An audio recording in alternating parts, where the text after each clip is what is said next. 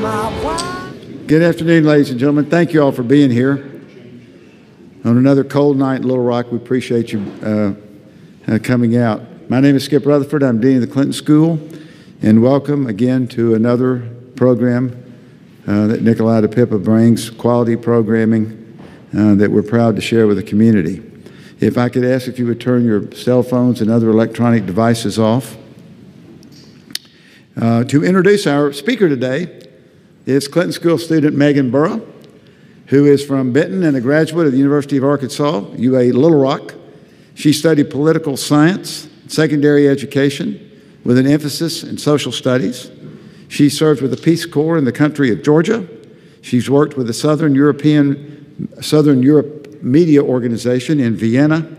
And at the Clinton School, she's working with a group of her classmates uh, on a literary initiative in Southeast Arkansas. Please welcome Clinton School student Megan Burrow.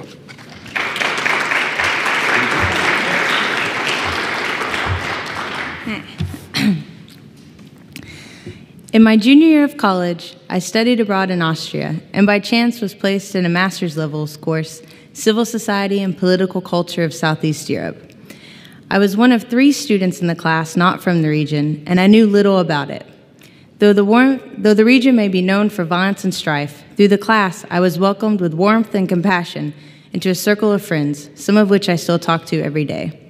These relationships spurred a connection to and interest in a region quite far from my Arkansas roots. After hearing my friends' personal stories about their experiences of loss and uncertainty as children during the wars in Bosnia and Kosovo, I took it upon myself to learn about the conflicts through books, documentaries, and during my trips to Belgrade. My passion for the Balkans is the reason that I can say with great excitement that we have Ambassador James W. Pardew with us at the Clinton School today. He also was raised in the great natural state and found himself in the Balkans. He played an instrumental role in Bosnia when he joined the negotiating team for the Dayton Peace Accords, which brought an end to the Bosnian War, which had lasted for three and a half years. He then went on to assist in the Bosnian Train and Equip program, the NATO conflict in Kosovo and eventual peace settlement, and the Ohrid Framework Agreement in Macedonia. He then served as U.S. Ambassador to Bulgaria during a crucial time for the country, and as the Deputy Assistant Secretary General of NATO for Operation and Crisis Management. Simply listing his job titles, as you can see, takes quite a while. Going into the incredible work he accomplished and its impact would undoubtedly cut into his speaking time. He has now written a book, Peacemakers American Leadership and the End of Genocide in the Balkans, which delves into the history and reality of the intervention in the Balkans that he will be speaking on today. Please join me in welcoming Ambassador James Pardew to the Clinton School of Public Service.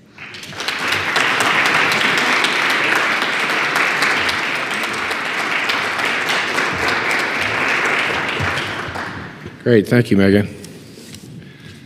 So, let's see, I see some friends, friendly faces out there. I'm going to open up tonight um, with a story about three young men in Arkansas in 1962 in high school. They didn't know each other. The first one graduated from Hall High School in Little Rock in 62. He went to West Point, went to Oxford. In 1995, he was lieutenant general on the Joint Staff, and that's General Wesley Clark, Arkansas boy. The second young man in 62 was a Nettleton High School graduate in Jonesboro. Went to Arkansas State, had a successful military career. In 1995, he was um, senior exec- in the senior executive service of the U.S. government and was in the Office of Secretary of Defense. That's me. And the third one was a uh, was a person who graduated from Hot Springs High in 64. Now, you know where I'm going with this. Georgetown, Oxford, Yale Law, and later became the 42nd President of the United States. Um, a savage war in the Balkans, in Bosnia, was, was ongoing in 1995. And that conflict in the Balkans brought the, li the, the lives of these three people from Arkansas together in an attempt to end this savage conflict, bring peace to the Balkans. So, my presentation tonight to you is drawn from my book that was just published by the University of Kentucky and shamelessly promoted by this slide on the screen here. the point of reference this evening is uh, my experience at the Center of U.S. International Intervention in the Balkans.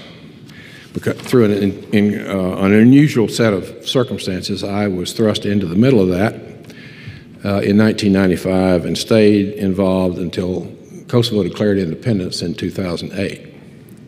It's a great story. It's full of drama and heroes and villains, interesting characters. But I'm not going to talk about the details of the, the diplomacy or the military operations tonight. Rather, I want to concentrate for a few minutes on the consequences of that U.S. intervention and the lessons that I learned from that experience that I think are important to American foreign policy in the world today. But before I get into to that, I do think there's a little context is in order. The, uh, the history of the Balkan region is mingled with the history of the great um, powers of Western civilization. In fact, no other area of Europe has seen more of the ebb and flow, the comings and goings of great powers of Western civilization more than the Balkans.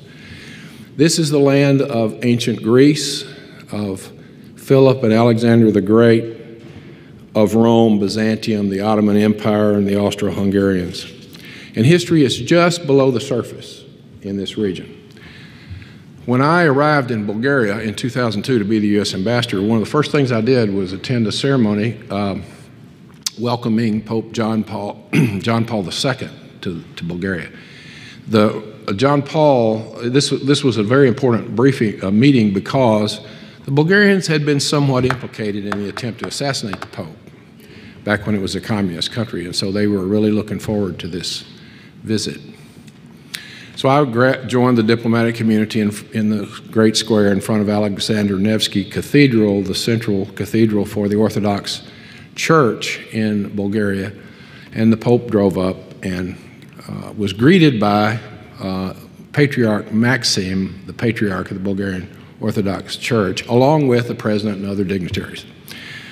So after the visit, I was visiting with foreign minister one day, and I said, "Foreign minister, oh, it was really great to see the patriarch meet uh, greet the pope." And he looked up at me and he rolled his eyes and he said, "Pardew, you have no idea." He said, "When the Bulgarian Orthodox patriarch greeted the Roman Catholic pope in front of Alexander Nevsky Cathedral, that's the first time an Orthodox patriarch in Bulgaria has recognized a pope in a thousand years." He said, Trust me, it wasn't easy to get him to do that. he, he said he, he's, he's afraid he's going to burn forever for that decision. Um,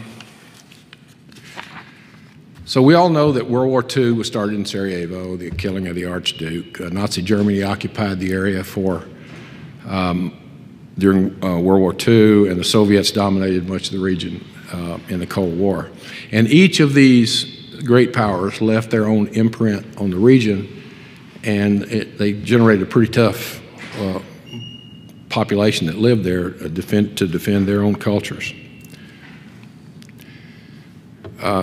The nation of Yugoslavia, the Federation of Southern Slavs, uh, was created from the Paris Peace Conference in 1919 at the end of World War I. And it stayed together for decades but began, but began to break apart along ethnic lines um, in 1991 when communism collapsed in Eastern Europe. The end of Soviet communism was um, amazingly peaceful. I think rarely in the history of the world has such a great and powerful empire completely collapsed as peacefully as the Soviet system did. But the major exception to that peaceful decline of, of, of, of communism was Yugoslavia. Uh, the, the, wars that accompanied the breakup of Yugoslavia beginning in the 1990s were the deadliest conflicts in Europe since World War II, and they produced a level of genocide not seen since the Holocaust. An estimated 110,000 people were killed in Bosnia and Kosovo, and over 3 million people became refugees. I'm not going to go into a lot of detail, but I just want to point to three major uh, areas on, uh, during the chronology here. One was the Dayton Agreement. This was the, the agreement that ended the conflict in Bosnia. It was done by uh, largely diplomacy led by Richard Holbrooke. The second, uh, in the second, the democracy or diplomacy failed, and Serbian security forces who were repressing the Albanians in Kosovo were expelled from Kosovo um, by the NATO air campaign, the 78 day air campaign. And then the third one is the one I was most directly involved in, and that was the Ohrid Agreement, preventing a civil war in Macedonia. U.S. led engagement in the Balkans was a major foreign policy success for the United States. It stopped the war in Bosnia that included genocide and crimes against humanity. It ended a deadly humanitarian crisis in Kosovo, and it prevented a civil war in Macedonia. Overall, it restored peace and stability to 40, 50 million people in the region. It enabled seven new nations to be formed, mostly oriented toward democracy and membership in the North Atlantic Treaty Organization, NATO, and the European Union. And the Balkan experiment also reestablished American leadership in Europe on a critical security issue. It was the high watermark of U.S. Russian relations in the post Soviet period. But once Putin came to power in 1999, that relationship began to decline, uh, uh, you know, reaching the, the current level of confrontation between the two countries today. The, the uh, response to the breakup of Yugoslavia also transformed a number of international organizations. NATO in 1995 was focused on its traditional mission of defending Western democracies from a Soviet invasion in Central Europe. It was struggling for an identity after the Berlin Wall came down and communism collapsed. Um, the Balkan experience transformed NATO from this traditional mission to one in which NATO is now was became started to look at missions outside that central region and set the stage for NATO's involvement in Afghanistan um, against pirates in the Mediterranean and, and, off of East Africa, and uh, training missions in Iraq and uh, uh, air missions in, um, in Libya. NATO airstrikes in Bosnia and Kosovo were the first actual sustained combat operations for the Great Alliance. And NATO partnered with Russian forces. Russian forces uh, deployed to Bosnia to be part of the implementation force after the Dayton Agreement, and they partnered with other military forces. NATO, uh, Russian military forces on the ground with NATO uh, in a common operation was unthinkable, unthinkable only 10 years earlier, yet, yet it happened. The European Union in 1995 had no foreign policy identity. It was mostly an economic organization. Through, the, through its in, involvement in the Balkans, um, the European Union um, developed a high representative, a, essentially a foreign minister for, the, for common foreign and security policy, and uh, an organization, kind of like a State Department, of, uh, of diplomats to, to serve uh, EU forces um, replaced NATO in Bosnia, and they were involved in, in developmental missions, economic and political development in uh, Kosovo. And uh, in Macedonia, the European Union was a co-equal negotiating partner with the United States. I had a, I had an EU counterpart, his name Francois Léotard of France, former minister, and he and I completed the Ohrid Agreement. It's the first time the United States and the EU had been co-equal negotiating partners, and an endeavor like that. The United Nations uh, had a very difficult period in, in, Bosnia. In fact, it failed in Bosnia to try to keep peace from 1991 until 1995. But it recovered um, um, later, recovered in Kosovo and actually governed Kosovo, held, held the sovereignty of Kosovo for a number of years, and UN negotiations um, on Kosovo ultimately led to their independence. A UN organization, the International uh, Criminal Tribunal for Yugoslavia, ICTY, indicted 161 people for genocide, crimes against humanity, uh, and violations of human rights. 80 of these were convicted and served time in prison for their crimes, some of them life sentences. And those facing justice included um, a former president, Milosevic, although he died before uh, uh, final justice was served. It included a sitting prime minister and ministers and generals of all the countries involved. Today, the new nations of Yugoslavia have many serious issues and developmental problems. The transition to peace and stability is difficult uh, and is far from over. In fact, none of these um, efforts like this are easy to complete, and it may, in fact, take generations for, for this region to fully develop uh, democ democracy.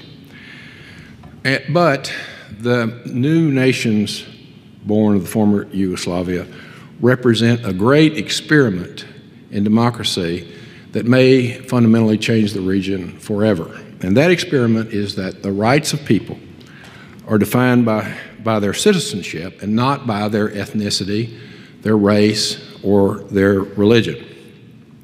Is this idealistic in places uh, with the history of the Balkans?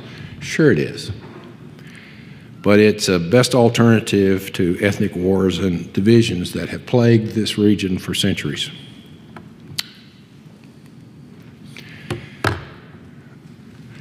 My experience in the former Yugoslavia has led me to several conclusions on the future of U.S. national security and American foreign policy.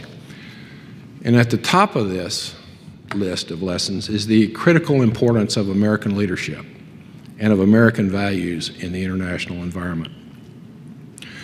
Without the U.S. involvement from 1992 to 1995, the international program to try to stop the killing and the devastation in the region was fragmented, indecisive, and weak as the war grew more and more destructive. And many of you may remember seeing the images on television the siege of Sarajevo and so forth. The United States was on the sideline. um, this, the uh, military did not want to go to the Balkans, our military. This, the leadership in the U.S. military in, the 19, in 1995, like me, were all Vietnam veterans. They had seen civil wars before, and they weren't eager to jump back in another one. And so the, our military was, was reluctant. And there was a lot of political pressure to leave this problem to the Europeans.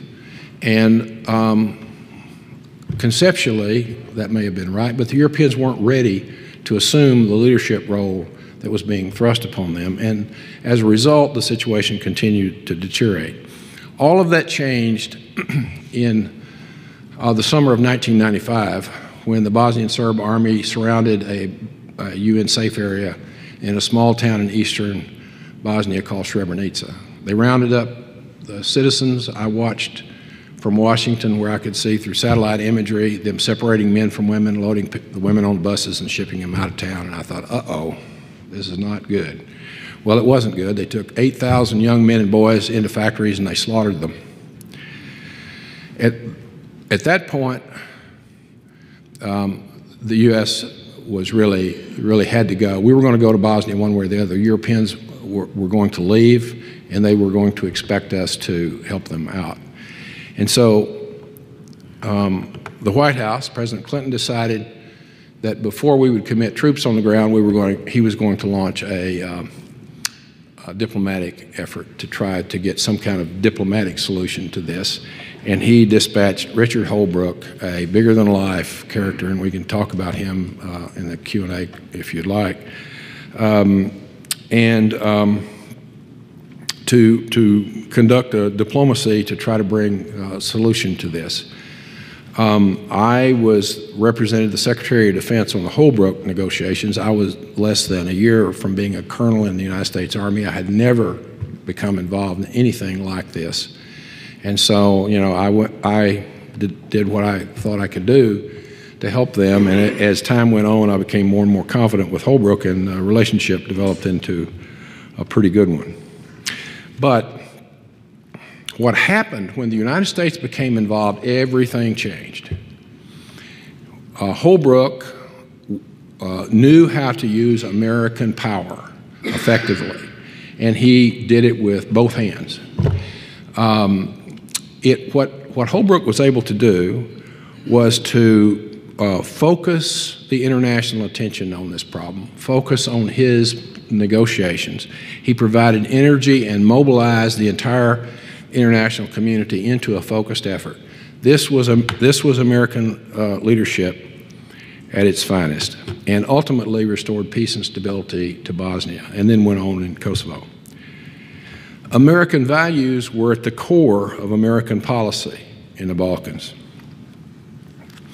Americans' democratic values are a source of inspiration and influence around the world. And they should always be a priority, in my view, in our foreign and national security policy. If the United States does not stand by those democratic values, you know, rule of law, freedom of the press, freedom of speech, all of those things that you know from your junior high civics class, if we don't stand behind those values, who will? Um, we should make clear to autocratic leaders like Putin, like Xi Jinping uh, Ping in China, and Erdogan in Turkey, and others, that we will not ignore violations of key components of democracy and human rights in their nations.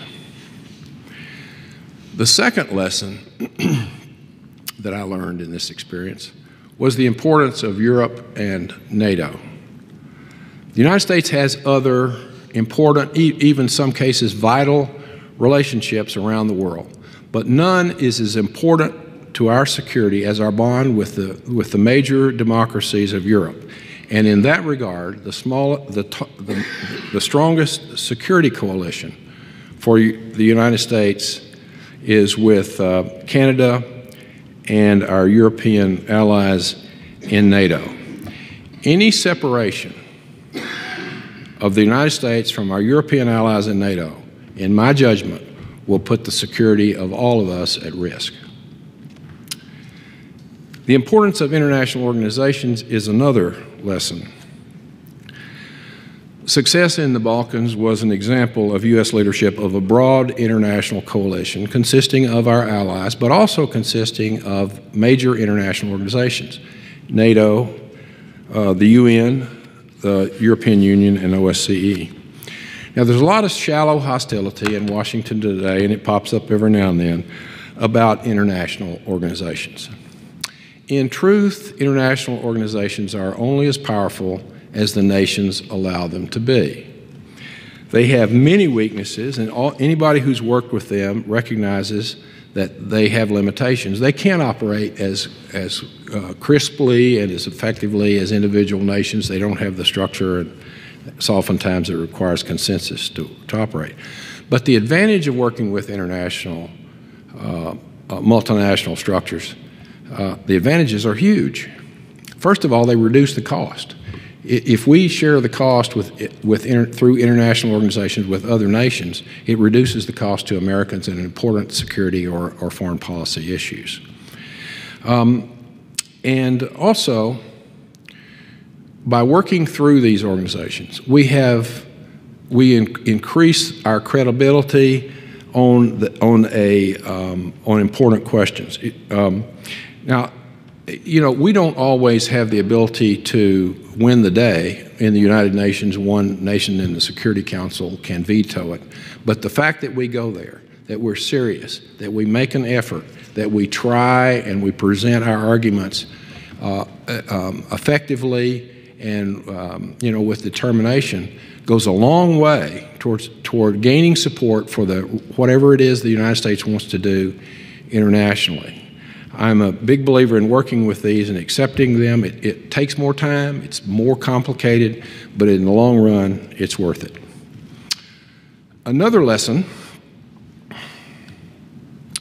is the relationship between diplomacy and the military. Um, the successful U.S. policy in the breakup of Yugoslavia was led by activist and aggressive diplomacy that was reinforced by very selective and careful use of military force. Holbrooke's negotiations in Bosnia were tied after over a period of time more and more closely with the NATO airstrikes that were ongoing. The NATO air campaign in Kosovo won the day, but it did so only after uh, extensive international diplomacy had failed, but that was diplomacy led by the Secretary of State in the United States. We had no other option. Later, U.S. and EU diplomacy uh, prevented a civil war in uh, Macedonia. Now, um, the current administration's disdain for diplomacy in favor of military threats, to me, is uh, shallow and dangerous. In the world today, as complicated and as dangerous it is, we need allies, not self aggrandizing military parades. One thing is certain military force alone will not solve international, all international problems threatening our interest. I think that is particularly true as we deal with the threat of Islamic extremism. The Balkan experience also convinced me that diversity is a fact of life in modern societies. With today's instantaneous flow of information, ease of travel, economic integration around the world, nations can no longer live in the isolation of the past. In this age of diversity, the future unity and strength of democratic nations will be determined not by race and ethnicity, but by shared political and social values and by the equality of justice and opportunity for citizens. Nations that draw on the positive aspects of all groups within generally accepted democratic values in the long run have the greatest chance for security and growth. Those that cannot accommodate diversity are doomed to eternal uh, disunity and conflict. Another lesson for me is the role of the United States in humanitarian uh, crises like those that occurred in the Balkans. I believe that humanitarian intervention is completely consistent with American values and, and that, that such intervention su often supports our national interest. We cannot and should not jump headlong into every international humanitarian problem. But, our, but Americans, America's power, national power, gives us a unique opportunity to lead or to mobilize others to solve uh, humanitarian problems when our national interests are at stake and when other options are no longer available. As an example, I believe that a U.S. led intervention, humanitarian intervention in Iraq and possibly Syria is appropriate to address the desperate humanitarian crisis in areas liberated from ISIS. It's not enough for us to just drop bombs and to help forces on the ground to uh, run ISIS off. These people need to go back to their homes. They need, they need help. And I think the United States should lead the effort internationally. We don't need to do it all, but our leadership could help relieve the humanitarian disaster that is occurring in Iraq. An American intervention would do two things. First of all, it would be completely counter to the extremist propaganda that the United States only wants to kill Muslims and seize their territory if we help their people return to their homes. And secondly, it would relieve refugee pressure on Europe that is destabilize, is somehow promoting extreme right wing uh, political activity in Europe and is somewhat destabilizing the Balkans because of these people who are coming in there into a delicate situation. Um, the last of my personal lessons from the Balkans relates to corruption. We ran, I ran a military assistance program. It was uh, probably uh, half a billion dollars in Bosnia. It was Pre President Clinton's commitment to help them with their security uh, as a condition for the, for the Bosnian Muslims to uh, uh, sign the Dayton Agreement. Uh, but, and we, we raised money um, internationally to support that.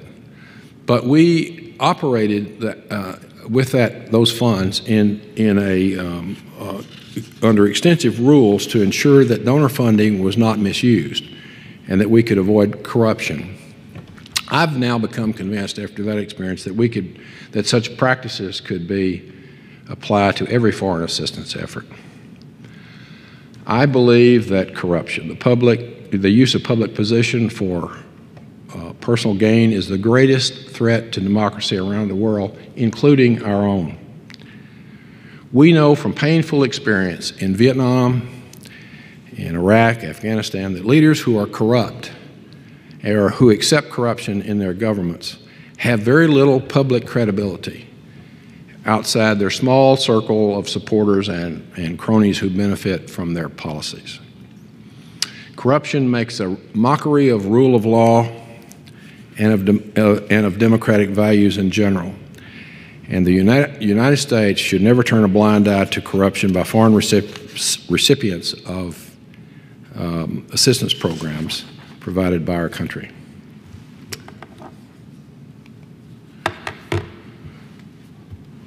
So, the period of American leadership in the Balkans was the high point of American global leadership and influence in the post Soviet world.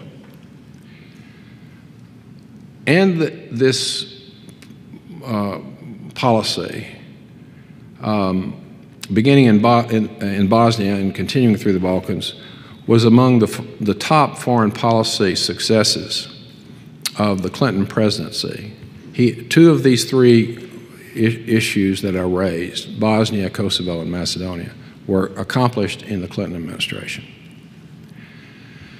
The U.S. led intervention represents American leadership at its best, and it sets a very high standard for our country as we engage in the world today. I want to emphasize to you this evening that the policies that prevailed in the former Yugoslavia are the, are the polar opposite of the Trump foreign and national security program that we see today. American leadership was based on democratic and humanitarian values and U.S. interests. It focused on close association with strong democratic allies and international institutions.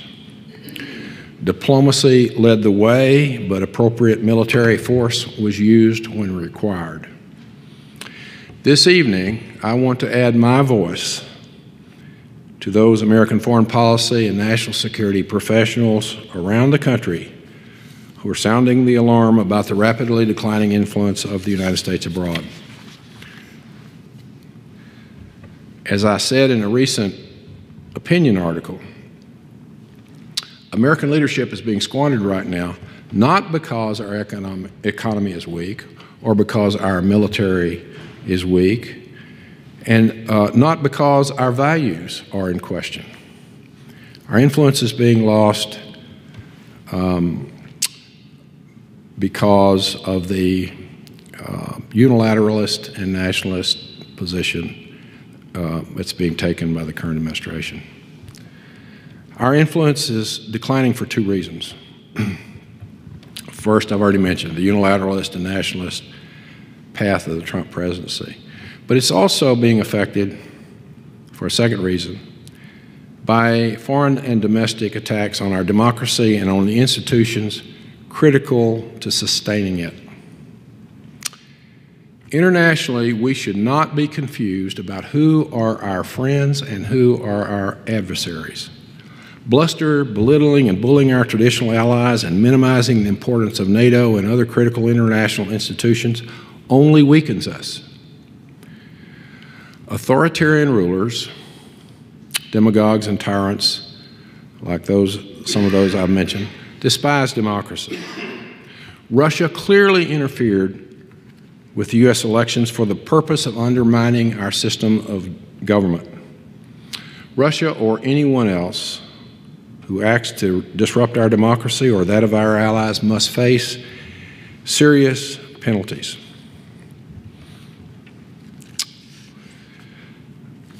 Failure to response to respond uh, only encourages uh, more aggressive action by Russia and others in the future. Of course, we should have straightforward and uh, practical relationships with Russia, China, and any number of other autocratic countries, but with conditions and on our terms, not on theirs. On the long run, the level of American influence will be decided uh, by our own confidence in democracy and in the institutions of, our, of, of government that ensure it. Unwarranted uh, political attacks on our elections and on institutions critical to democracy and our, and our security undermine the, the basic confidence in these institutions. If our institutions of government become politicized and Americans lose faith in the American justice system, in the FBI, in the intelligence community, in the free and independent press, then our democracy is in serious danger. And we become no, be- no better than some of the corrupt, corrupt authoritarian governments like those in China, Russia, or Turkey. As a former U.S. Special Envoy for two presidents, I'm particularly concerned about the Trump administration's contempt toward diplomacy and the extreme cuts in the dip- diplomatic capability of the State Department and the U.S. Foreign Service. I say this as someone who is not a professional Foreign Service officer. My background was military. But I am someone who worked very closely with the Foreign Service and the State Department for over a decade. Strong and aggressive diplomacy, represented by the State Departments and the professionals in the Foreign Service, um, is critical to the strength, security, and influence of the United States abroad. And the damage to those institutions of American diplomacy must be repaired, and the sooner the better. Right now, we appear to be in one of those historic moments that define the United States and who we are as a people. Despite the present decline in American influence around the world, I remain hopeful. This is a great country, but sometimes great countries make great mistakes. The United States is bigger than one man, and the nation also has the capacity for self correction that I find almost unique in the world. When we have a problem, we fix it. For me, I believe that tough minded idealism and core democratic values can prevail and get America through this current period of confusion and declining influence. And the United States will again uh, assume the international leadership position that the world so badly needs. But that will only happen if Americans are vigilant, stand strongly behind our democratic system. We must demand that the rule of law and the institutions that guarantee it be protected from corruption and political intimidation, that there, and that there be no infringement of freedom of the press, and that no person, including the President of the United States, is above the law. Thank you very much for your attention this evening.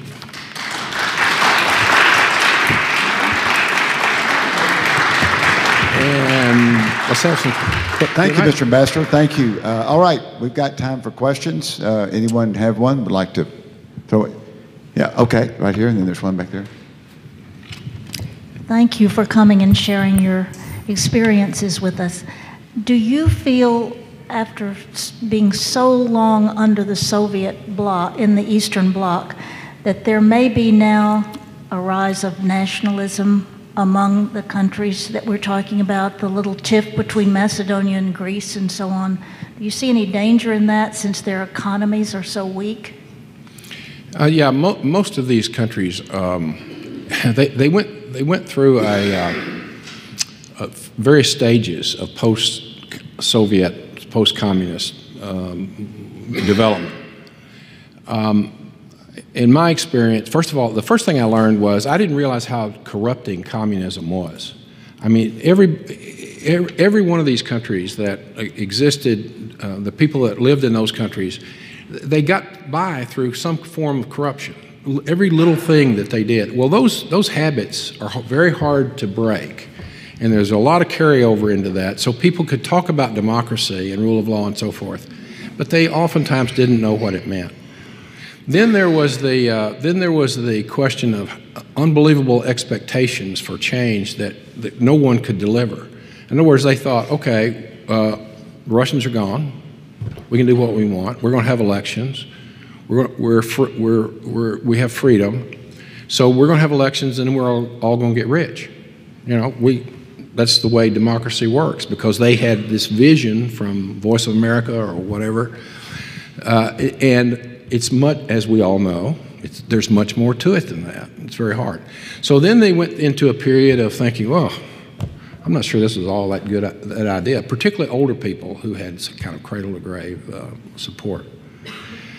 And, um, and then many of them, one of the, it started in the Balkans, but I think it's true of, of uh, political leaders, certainly in Eastern Europe, and some would say even here, that there's a political advantage to divisiveness and to praying using ethnic um, uh, fears to promote political um, advantage. That was certainly true in the Balkans. Milosevic was a, was a dedicated communist. Grew, he became a successful apparatchik in the Soviet or in the communist system. He was married to a, woman whose family was with the, uh, the, the communist partisans in World War II. I mean, all his credentials were perfect.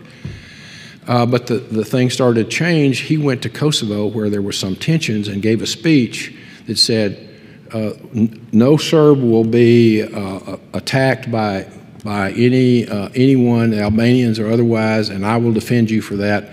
He got a rousing uh, applause from the Serbian community, and he switched like that from communist to nationalist because he had discovered great political gain in nationalism.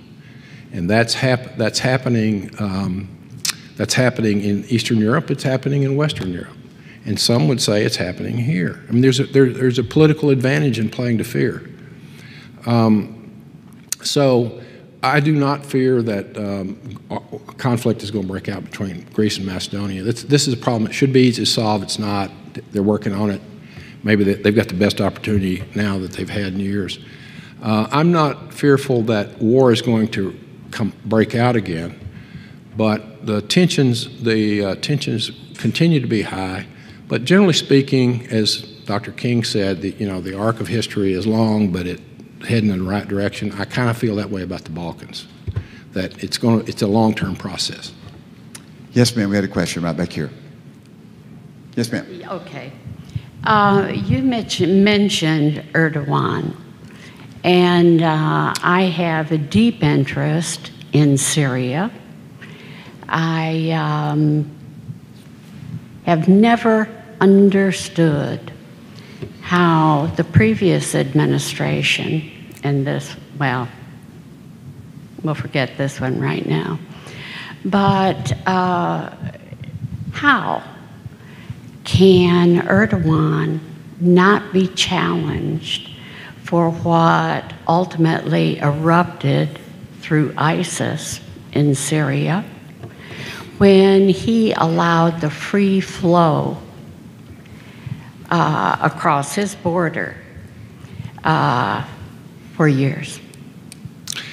Um, Kathy and I lived in Turkey for two years, 1979 81. So I have a deep affection for Turkey. I find it one of the most fascinating places uh, in the world, and Istanbul, one of the great cities of the world. So I have a lot of sympathy for Turkey, and I wish them well. But it's, it's you know, as you know, it's a complicated story. Erdogan is a bad guy. He was elected. He played. He played the nationalism. In uh, a few a few years ago, he he drew the Kurds into the election process, and he was on the in, in route to to bringing the Kurds into the political process that was going to be the best thing to happen to Turkey in years. And suddenly, that all he turned all that around. Um, you know, I've been very critical of Trump administration up here tonight. I think the Obama administration also made some big mistakes in Syria. I don't believe in, in uh, um, regime change as the first thing out of the bag. If we had done that with Milosevic, we would have never had a uh, uh, negotiating partner in, in uh, the Balkans. Everybody knew he was a bad guy, should, should be gone, but we didn't run out and announce it. I don't think an American president ought to ever draw a red line and then let it go away. So there were there were a lot of mistakes uh, that have been made there. I'm not a an Iraq or Syria um, expert, so I don't. I, I'm a little leery of getting too deeply into it, but I, I think uh, we have a very uh, difficult partner, uh, ally in in Turkey. Um, Erdogan is doing everything to suppress the kind of values I talked about. There is no freedom of press in Turkey. I, I have given a few speeches there in the last few years at universities. Most of them now are closed. Uh, uh, people that were working in universities are now either in jail or uh, on the run. Um, um, the, he, the re reaction from the coup attempt a few uh, a year or so ago, uh, he continues to use to repress Turkish society. So I, I think um, my guess is, and I'm not tied into the State Department closely on this, but my guess is they're just trying not to make the situation worse. Uh, he's uh, playing footsie with uh, Russians buying Russian military equipment. It's all bad. All the signs from Turkey are bad. Um, but it's a very hard problem. I just don't have the confidence in this administration to work through a very complex diplomatic issue effectively. Um, I just don't. Yes, sir, right here. Here comes the microphone's coming at you. Thank you. I was born and uh, I lived many years in one of the countries which are on the map there. Mm -hmm. I have no involvement in the former Yugoslavia. But I have few questions. but I live through. First, a matter of principle. Can you hold the microphone up, yes. please? First, a matter of uh, principle and knowledge. Do you still believe what said Bismarck 150 years ago? No, which I was. Think, I, I, think Bismarck's wrong. Next question. Was wrong, right? Right. Okay, it happened in Bosnia. He was right. Next question. Excuse me. What, what Bismarck said was that the Balkans is not worth the, the uh, something of a, yes, a Pomeranian the grenadier. Reason, the reason why he said that was that Balkans is the powder keg of Europe, which is a totally different thing. He said, Germans don't care, we don't want to have the grenadiers in Balkans. Then, you know, came the World War I. But that was the reason. And that explains a lot what's happened there. Second, in my opinion, the whole region is a region where there are permanent clashes and historical. Ethnical people are the same, more or less. But it's a clash between Central European and Western civilization and Eastern civilization, East European civilization. And that is a very serious problem. Next. All right, and we'll give you one more because we want to pass it around so other people can get some questions. Okay. Next, corruption. Okay. You spend time in Turkey, you know the word bakshish. That is everywhere there. It's for hundreds of years. And if you add the Russian uh, corruption and how it was, it's a problem. It's a very serious problem. And I will finish here, because I have many things to say. Thank you. Your opinions? Oh, okay. Um, first of all, uh, there was a book written before I went to Bosnia the first time. It was called Balkan Ghost. And that Balkan Ghost essentially took the position that these people have been killing each other for a thousand years, they'll never stop, and uh, nothing we can do about it. Uh, I found that to be untrue.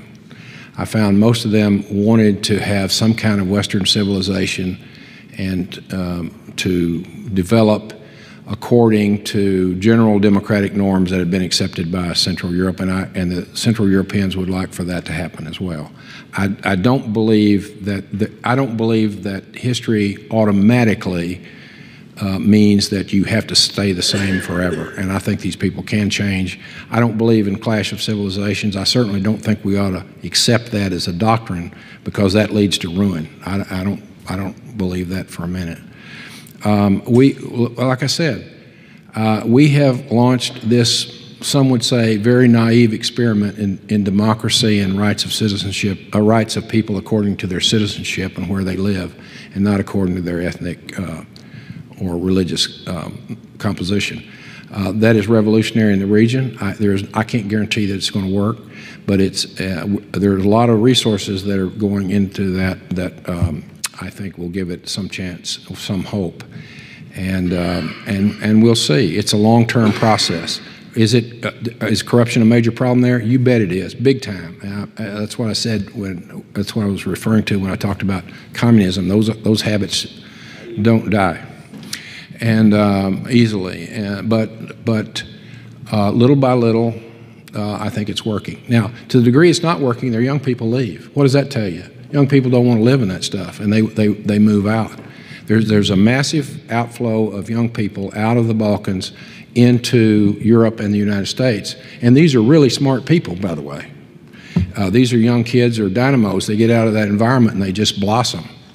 Um, um, and, you know, I'd welcome as many of them coming here as I could, but uh, not these days. Anyway, that, they, they uh, that tells you that the young people in the, in the, in the region want to want to live in, in places where there is rule of law, where corruption is minimum, and that where they can have opportunities. And I, I, I, feel hopeful about that. What I'd like to do is see a lot of them who are very successful go back, and some of that happens, and to take those values back home with them.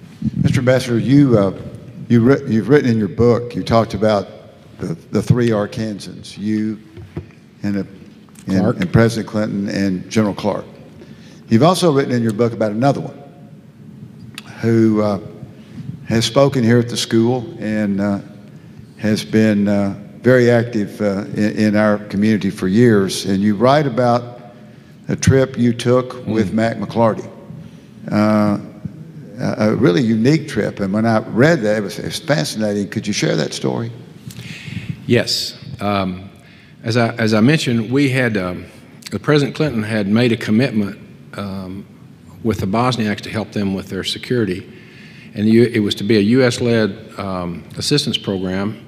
Um, and we had $100 million worth of excess U.S. equipment available from the U.S. Congress. But we didn't have any money. And um, we needed financial resources to hire um, trainers because the U.S. military didn't want to do that. So we had to hire uh, private contractors to do it. Um, I went around, flew around the world uh, with my tin cup, trying to get uh, particularly Muslim countries to donate uh, to the cause, and they all they have very sophisticated ways of telling you no or maybe, and ter- maybe turns to no. So I went back and I told Sandy Berger, Sandy, hmm, I, this ain't working. I need I need help, and I had gotten indications from the Saudi ambassador in uh, Washington, Prince Bandar who had been the Saudi ambassador for a number of years, and he kept saying to me, You know, we had a really, really close relationship with the Bush administration back during the Gulf War. I mean, the message to me was, you know, he'd like to have the president more involved in this. So, uh, Tony Lake, the National Security Advisor, Sandy Berger, and the president decided that the way to do this was to send Mac McLarty, uh, his personal representative, out to the Gulf. I had never met Mac before. Mac before. Um, and uh, so anyway, uh, Mac wasn't so convinced. He said, uh, "I'm not going out there unless I, unless there's a good chance that this is going to work." And so um, he was ready to go. The plane was on the uh, tarmac at Andrews. We had a U.S. plane to take us over there. I was in the West Wing. Um, and Mac says, I, I need some assurance here. Uh, so we were trying, the president was trying to track down Bandar to find out whether or not this was going to work. Bandar disappeared. Couldn't find him anywhere. So the, the, uh, the security guys said, you know, he has American security. Let's try that. So They went through the American security system and they tracked down his security guards and they found him at some ski resort or someplace. And the president, you know, he can't turn down a phone call from the president, so uh, the president gets on the phone with him and Bandar says, yes, yes, I'm sure this is going to work. So Mac then, come, we get on the airplane, we fly off to Jeddah, we meet in these incredible palaces like something out of an Orientalist painting with guys in robes and long swords and all that. Meet with the crown prince um, uh, the, because the, the, the, king was ill, elderly and ill. And uh, we met for a long time, and uh, it's in, as I say in the book. Uh, finally, Mac gets around after drinking a lot of tea and a lot of chit chat. Uh, um, you know, Prince, we need, uh, we need your help. And the prince says, um, How much help? and Mac says, uh, Well, we're thinking in the range of about $50 million. And the prince flinched and he said, Billion dollars? He said, No, million dollars. Oh, oh, oh, okay. Suddenly, I mean, that made it a whole lot easier. uh, I, that was a shocker for me. I watched that and I think, ah. Um, I have one more Arkansas story to tell after this because it's kind of interesting. Um, anyway, we went on from there to the UAE. Um, they committed 25 million, uh, uh, Kuwait 25 million, and we came back. So when I wrote the book, I, you know, and on this trip, when you travel for several days, and it's just the three or four of you sitting in the back of the airplane, you know, you get to know someone pretty well. And I really like him. He's very, he's a very great guy. And so I wrote the book and I, I sent the sent the draft in to him and I said, Hey Mac, you know, this is your story, so look this over. And so he we back and forth, you know, and then I sent him um, the manuscript and then finally the book came out. I sent him a copy of the book and he he got back to me. Very gracious. He asked me to send a copy to President Clinton, which I did. And, um, and then I got an email a few days ago that I feel really good about. They said they want to know your address so President Clinton can write you a note. So I'm, I'm running to the mailbox when I get home. but let me tell you one more Arkansas story. Listen, uh, I think it'd be great if you and Mac would make that trip again and get that money for the Clinton school. How about that? Well, you propose that to President Clinton well, see I, what I, he does. I, you've got my, you've got me thinking. All right, what's your other story? Okay, um, at the in Bosnia, we were very we worked very closely with the Russians. Now, you know, I've, I've criticized Russia tonight. Russia's a great country. It's a huge country. It's a powerful country, badly led. But I mean, we can and have worked effectively with them. Um, uh, in Bosnia, they were very close to us, and I got to know their political director, who's like the number three person in the in the foreign ministry. His name was Igor Ivanov, and uh, I used to tease him. He was flying around on NATO airplanes. Igor, we're going to make you an honorary member of NATO, and you know all that stuff. And so he leaves. Bosnia's over. Relationships are bad, and all that stuff. And he goes back to Moscow in the Putin administration, and I go off and do. Um, the Macedonian thing, Ohrid Agreement. After the Ohrid Agreement, we, Leotard and I, flew to Moscow to brief the Russians on what we had done because we never wanted any confusion in Moscow about what was going on here.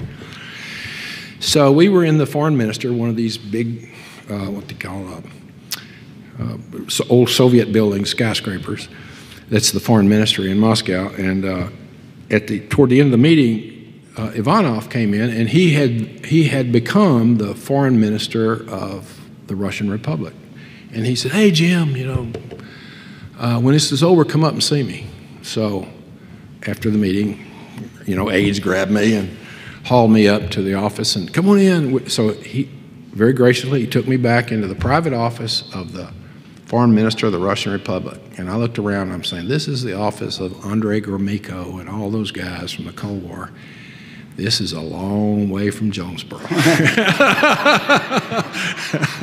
well, we, uh, first of all, I, Little Rock is not a long way from Jonesboro. and we're really glad that you could come back to Arkansas. I know you spoke at Arkansas State and, and uh, earlier. We're honored to have you at the Clinton School, and I hope everyone will come visit with the ambassador uh, and purchase and, and let him sign the book. So, Mr. Ambassador, thank you so much thank for being so with us. Great to be